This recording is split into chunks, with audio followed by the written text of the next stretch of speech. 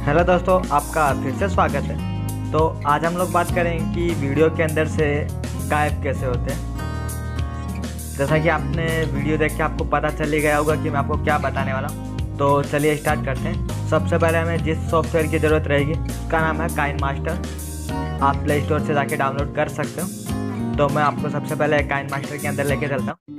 बताना चाहूँगा, अभी तक आपने मेरा चैनल सब्सक्राइब नहीं किया तो अभी यहाँ पे जाके सब्सक्राइब कर लें। और बेल आइकन पर क्लिक कर ले ताकि आपको नोटिफिकेशन आती रहे। तो काइन मास्टर को ओपन करने के बाद काइन मास्टर कुछ ऐसा दिखेगा। तो सबसे पहले हमें यहाँ पे प्लस पे क्लिक करना रहेगा।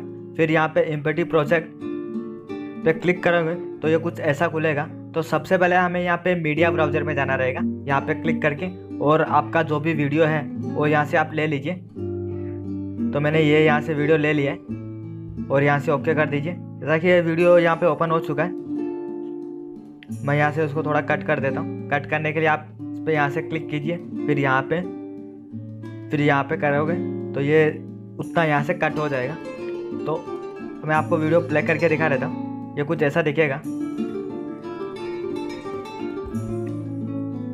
तो अब हमें सिंपली करना क्या है कि यहाँ पे क्लिक करके जहाँ से आपको गायब करना है, जैसे मैं यहाँ पे इतना करता हूँ। फिर यहाँ पे क्लिक करके, फिर यहाँ पे लेयर पे क्लिक करूँगा। लेयर पे क्लिक करके यहाँ पे वीडियो और वापस से सेम वीडियो मैं यहाँ से ले लेता हूँ। तो मैंने वापस से सेम वीडियो वहाँ से ले लिया है।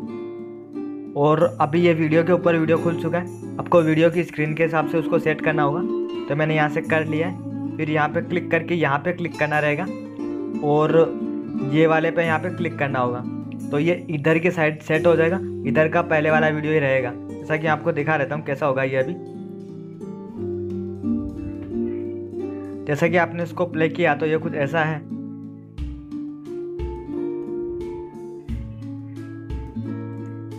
तो आप देख सकते हो कि वो गायब हो चुका है। अब वापस से लाने के लिए यहाँ पे क्लिक कीजिए। यहाँ पे क्लिक करके यहाँ पे क्लिक कीजिए। फिर यहाँ पे स्प्रिट एड प्ले हेड पे क्लिक कीजिए। तो ये जो वीडियो है, यहाँ से कट हो जाएगा। तो यहाँ पे इसको थोड़ा सा हटा दीजिए। तो जैसे मैं थोड़ा सा हटाऊँगा तो ये पहले वाला वीडियो प्ले होगा। तो ये कुछ ऐसा दिखेगा।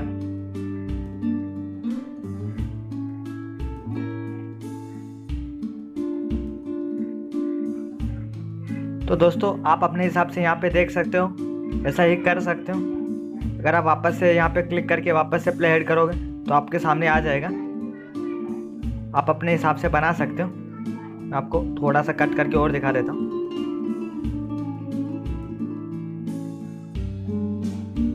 तो ये कुछ ऐसा दिखेगा।